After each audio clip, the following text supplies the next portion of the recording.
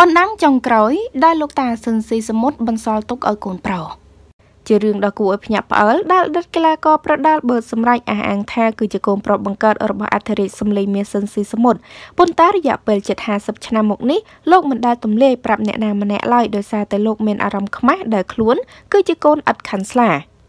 ព្រោះម្ដាយមិនបានរៀបការស្របច្បាប់ជាមួយឪពុកស៊ិនស៊ីសមុទ្រនោះទេភរិយាលោកស៊ិនស៊ីសមុទ្រត្រូវបានគេស្គាល់តែពីរនាក់ប៉ុណ្ណោះ គឺទី1ឈ្មោះខាវថងញុកនិងទី2ឈឿនអង្គារ៉ាម្ដាយមានឈ្មោះត្រឹមស្រីកំណាន់ឬសង្សារហើយខ្លួនត្រឹមម្ដាយបោះបង់ចោលឲ្យរស់នៅជាមួយម្ដាយចិញ្ចឹមដែលត្រូវជាអ៊ំស្រីបង្កើតតាំងពីតូចមកអតីតកីឡាករប្រដាល់បឺតសម្រេចវ័យ49ឆ្នាំកើតក្នុងឆ្នាំ1974បានទម្លាយរឿងខ្លួនគឺជាដំណក់ឈាមរបស់អធិរាជសម្លេងមាសសិនស៊ីសមុទ្រនេះកាលពីរាត្រីថ្ងៃទី14មិថុនា2023តាមរយៈកម្មវិធីចម្រៀងគ្រួសារខ្មែរ។ លោកបឺតសម្រេចបានរៀបរាប់ទាំងអួលដើមកថាបើនិយាយទៅខ្ញុំសូមបង្ហើបបន្តិចបន្តិចចុះហើយពុកម៉ែបងប្អូនបើសិនជាបានដឹងសូមមេត្តាខន្តីអភ័យទោសខ្ញុំបាទគឺជាកូនប្រុសអធិរាជសំឡេងមាសសិនស៊ីសមុទ្រខ្ញុំកូនប្រុសគាត់បង្កើតអញ្ចឹងចំណុចណា ដែលខ្ញុំទប់ចិត្តមិនបានក៏ខ្ញុំអត់និយាយដែរខ្ញុំកើតក្នុងឆ្នាំ1974ខ្ញុំមិនមែនជាកូនអ៊ំខាវថងញុកទេ ហើយក៏មិនមែនជាកូនអ្នកមីងអង្គារ៉ាដែរ ម្ដាយខ្ញុំគឺជាអ្នករបាំព្រះរាជទ្រព្យចំនួននោះដែរហើយគាត់គឺជារៀមច្បងរបស់អ្នកមីងអង្គារ៉ាពេលនោះប៉ាខ្ញុំបានរស់នៅជាមួយម្ដាយខ្ញុំ ហើយក៏គាត់ទម្ងន់ខ្ញុំ4ខែមុនមីងអង្គារ៉ានេះតាមដែលម្ដាយចិញ្ចឹមខ្ញុំគាត់រៀបរាប់ប្រាប់ខ្ញុំដល់អញ្ចឹងទៅនៅពេលដែលខ្ញុំកើតបាន6ខែម្ដាយខ្ញុំគាត់ខឹងដោយសារតែប៉ាខ្ញុំគាត់បានរៀបការជាមួយមីងអង្គារ៉ាអញ្ចឹងទៅម្ដាយខ្ញុំគាត់ក៏ខឹងប៉ាក៏រត់ទៅស្រុកឡាវ ស្រុកខាងម្ដាយខ្ញុំម្ដាយខ្ញុំគឺជាកូនកាត់ឡាវចិនខ្មែរម្ដាយខ្ញុំមានឈ្មោះធីមវិជ្ជរាគឺជាអ្នករបាំព្រះរាជទ្រព្យកាលពីចំនួននោះសម្រាប់ខ្ញុំមានតែមួយគត់បងប្អូន ហើយដោយសារតែម្ដាយខ្ញុំពីមុនមកគាត់គឺជាស្រីមេម៉ាយមុននឹងបានប៉ាខ្ញុំគាត់គឺជាអ្នករបាំហើយគាត់គឺជាគ្រូពេទ្យប្រចាំនៅខេត្តកំពង់ឆ្នាំងផងអញ្ចឹងខ្ញុំជម្រាបពុកម៉ែបងប្អូនបើសិនជាបានស្គាល់ខ្ញុំបាទបានដឹងព័ត៌មាននេះហើយសូមកុំ ចុចចុញចាខ្ញុំដឹងរឿងនេះនៅពេលដែលខ្ញុំមានអាយុ14ឆ្នាំម្ដាយចិញ្ចឹមខ្ញុំគឺជាអ្នកប្រាប់ហើយម្ដាយដើមខ្ញុំគាត់ទៅយកប្តីថៃហើយមានគ្រួសារថៃមួយទៀតបានកូនស្រី3នាក់ទៀតហើយខ្ញុំរស់នៅជាមួយម្ដាយចិញ្ចឹមរហូតមកលោកបឺតសម្រេចបន្តថាខ្ញុំចេះតែចង់លាក់តាំងពីតូចមកគេចេះតែនិយាយថាខ្ញុំគឺជាកូនអត់ឪជាកូនអត់ម្ដាយ ទៅចេះតែមានអារម្មណ៍ដកនៅក្នុងបេះដូងមិនចង់និយាយឲ្យអ្នកណាដឹងទេហើយក៏សូមប្រាប់ជម្រាបបងប្អូនឲ្យដឹងថាខ្ញុំមិនមែនជាកូនម្ដាយជាមួយនឹងប៉ាស្របច្បាប់ គឺអត់ខាន់ស្លាទេគ្រាន់តែចង់ប្រាប់បងប្អូនថាអរគុណណាស់ដែលខ្ញុំរស់នៅបានដូចរាល់ថ្ងៃស៊ូលំបាកវេទនា ហើយកាលពីខ្ញុំកើតមកនោះប៉ាក៏តាមទៅយកខ្ញុំមកដែរតាមទៅយកទាំងម៉ាក់និងខ្ញុំមកដែរតែម៉ាក់គាត់អត់តាមមកទេ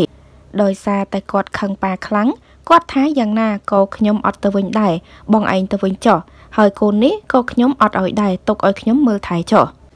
គាត់បាននិយាយអញ្ចឹងថ្ងៃដែលប៉ាទៅម៉ាក់ចិញ្ចឹមខ្ញុំគាត់គឺជាបងស្រីរបស់ម្ដាយខ្ញុំបង្កើតអញ្ចឹងក៏គាត់ប្រាប់ប៉ាថាអត់ឲ្យកូននឹងទេបងទៅវិញចុះអញ្ចឹងក៏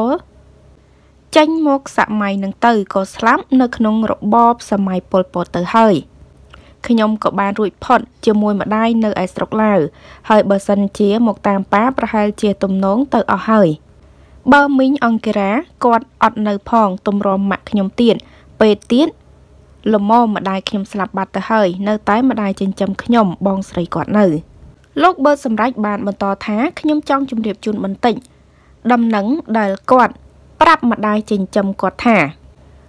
គាត់អត់ចង់ឲ្យកូនប្រុសរបស់គាត់ คล้ายជាតារាចម្រៀងដូចគាត់ទេ បណ្ដាំចុងក្រោយនឹងគឺបងស្រីអើយបើចិញ្ចឹមគាត់មើលថែគាត់ទៅឲ្យគាត់ធ្វើជាយោធាធ្វើជាប៉ូលីសធ្វើជាពេទ្យអីទៅកុំឲ្យគាត់ធ្វើតារាចម្រៀងអញ្ចឹងខ្ញុំអត់មានអីត្រូវលាក់លៀមទៀតទេនាពេលនេះហើយមូលហេតុដែលពីមុនខ្ញុំមិនទំលាយដោយសារតែខ្ញុំមានការខ្មាស់អៀនព្រោះម្ដាយមិនមែនជាម្ដាយដែលជាប្រពន្ធស្របច្បាប់របស់ប៉ាគ្រាន់តែជាស្រីកំណាន់លួចលាក់អញ្ចឹងទៅ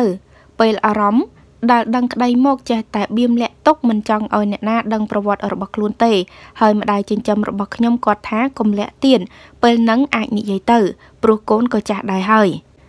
អាចមានបងប្អូនពលរដ្ឋយើងនៅក្នុងស្រុកឬនៅស្រុកគេអាណិតស្រឡាញ់អញ្ចឹងហើយក៏ខ្ញុំអត់និយាយអំពីប្រវត្តិនេះឲ្យបងប្អូនរួមក្លឹបប្រដាល់និយាយរួមតាំងពីតូចមក ខ្ញុំមិនដែលចង់និយាយប្រវត្តិប៉ាឲ្យគេស្ដាប់ទេ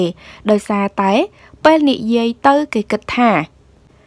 ប៉ះនៅអារម្មណ៍បងប្អូនដែលស្រឡាញ់ប៉ាគេថាយើងចេះតែប្រឌិតចេះតែនិយាយ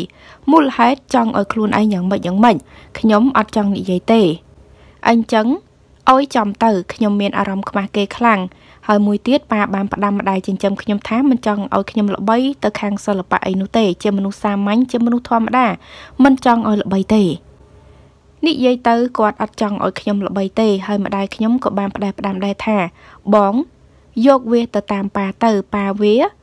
មិនឲ្យធ្វើអីកុំធ្វើ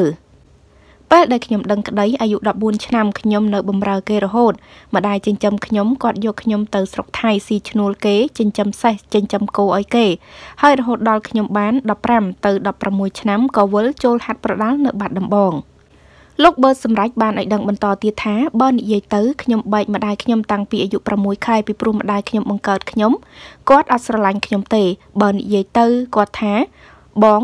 យកវេទនាយកទៅចោះព្រោះកូននឹងដោយសារតែវាធំទេបើសិនវានៅតូចខ្ញុំនឹងយកចាញ់ហើយគាត់អត់ចង់ឲ្យជាប់ឈាមប៉ាទេដោយសារតែប៉ាបោកប្រាស់ចិត្តគាត់ឈ្មោះខ្ញុំពិតមិនមែនបើសម្រេចទេម្ដាយចិញ្ចឹមខ្ញុំគាត់ដាក់ត្រកូលតារបស់គាត់ គាត់ដាក់ថា Tim Pelin ខ្ញុំធំដឹងក្តីកាលណាគេហៅខ្ញុំថា Pelin Pelin ហើយបើសម្រេចនេះគ្រាន់តែជាឈ្មោះប្រដាល់អាជីពរបស់ខ្ញុំប៉ុណ្ណោះឯងបើនិយាយត្រកូលស៊ីនប៉ាខ្ញុំកាលគាត់ទៅលេងខ្ញុំគាត់អត់បានដាក់ឈ្មោះឲ្យខ្ញុំទេ ហើយម្ដាយខ្ញុំក៏អត់បានដាក់ឈ្មោះឲ្យខ្ញុំដែរ